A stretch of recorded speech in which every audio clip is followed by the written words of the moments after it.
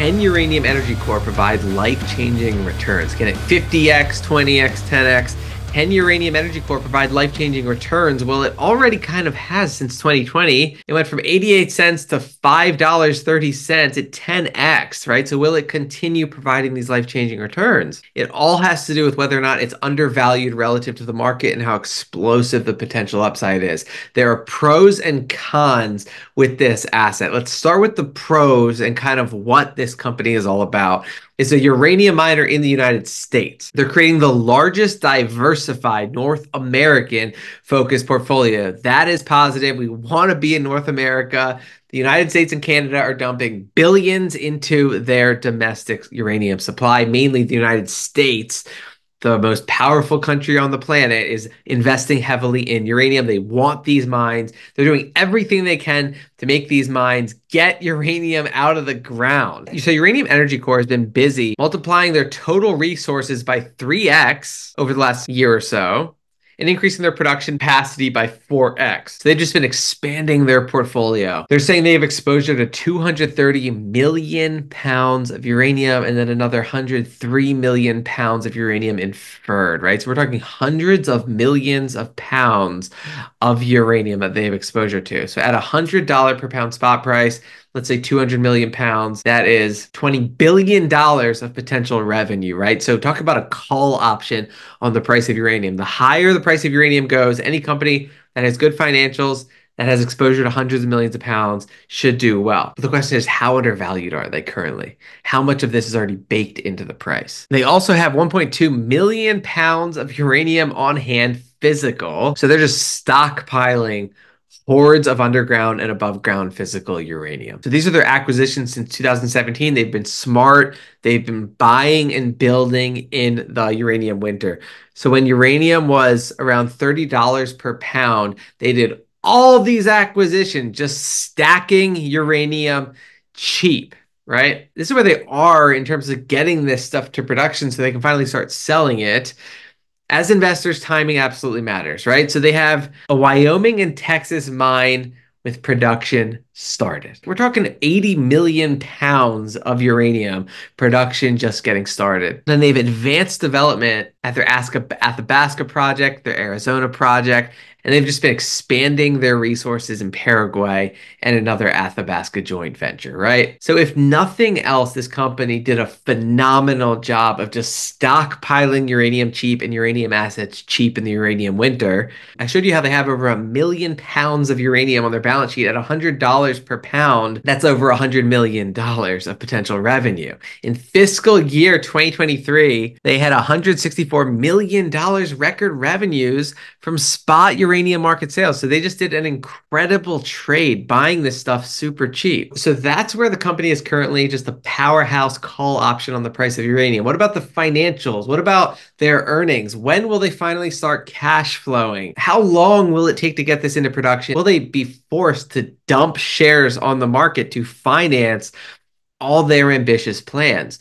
Well, this is the balance sheet. The most recent one was as of April 2024. And so as of April 2024, they had total current assets of $155 million, total current liabilities of $14 million. They were just swimming in assets, plenty of liquid assets, total assets of 878 million dollars. Total liabilities 99 million. So strong financial position strong balance sheet. But again keep in mind, right? How much is all this going to cost? $155 million of current assets and total current liabilities of, of 14 million, right? So they really, at this point, at this point in time, as of April, this report was published in June.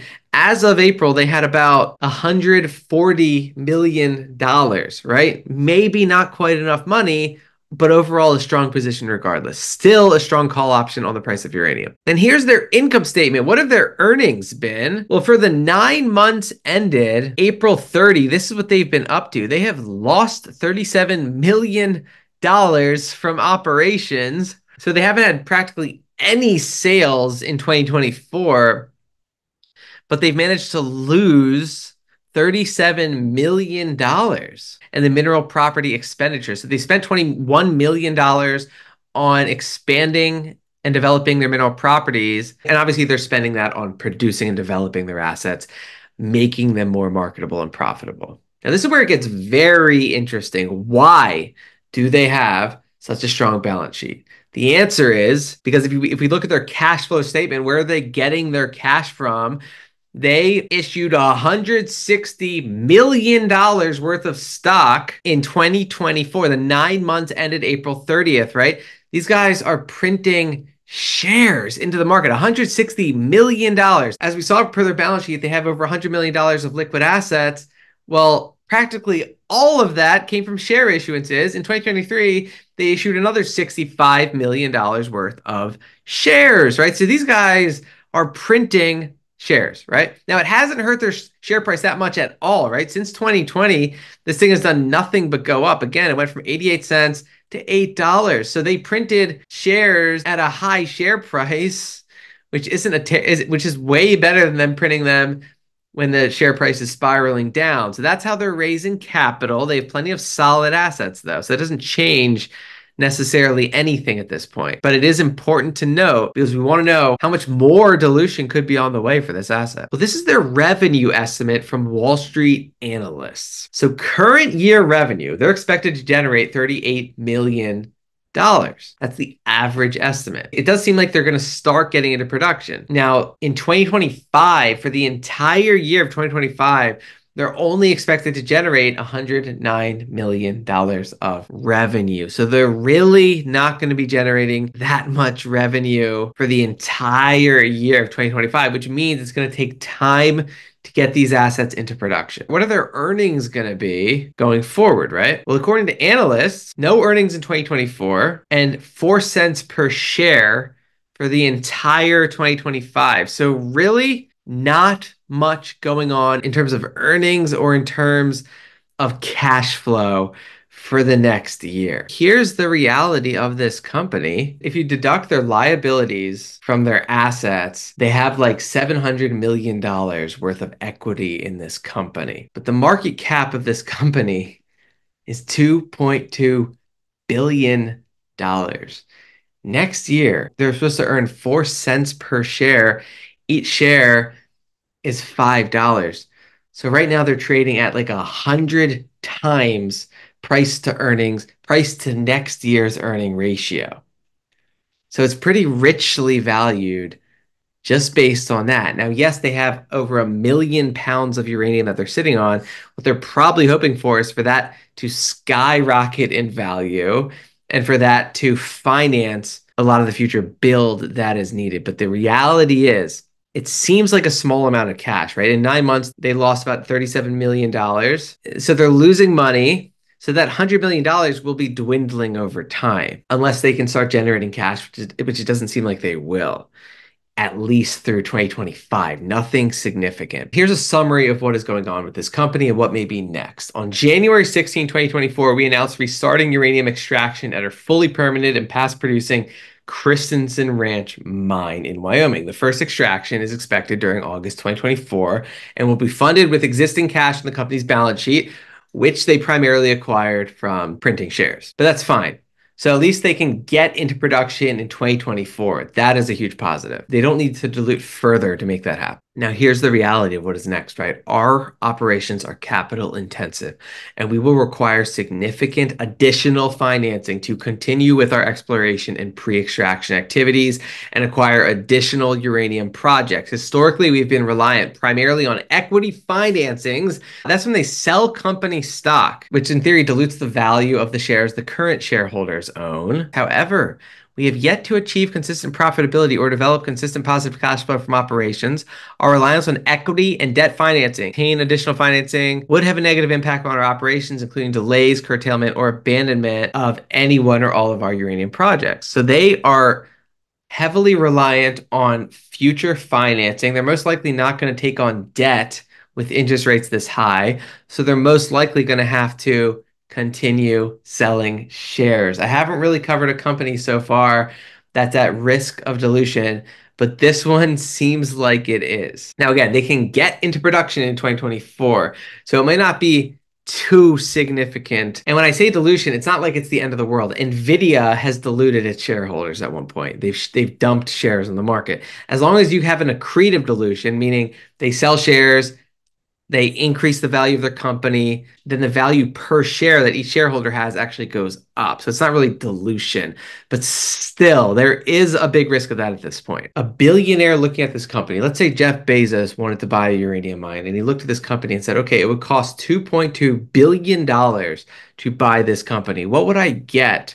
for that $2.2 billion investment. I would get $700 million worth of assets, including mineral rights and properties of $560 million. At the end of the day, that is the truth, right? So we've covered a lot of assets on this channel, a lot of different uranium miners.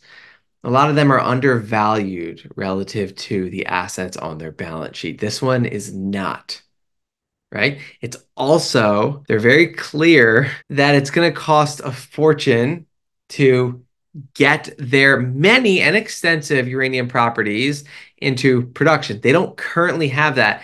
This company has more limited upside than the assets that are way undervalued compared to the, the assets they currently have, not where they could go. But this one is banking on just a massive spike in the price of uranium. That would solve all this company's problems.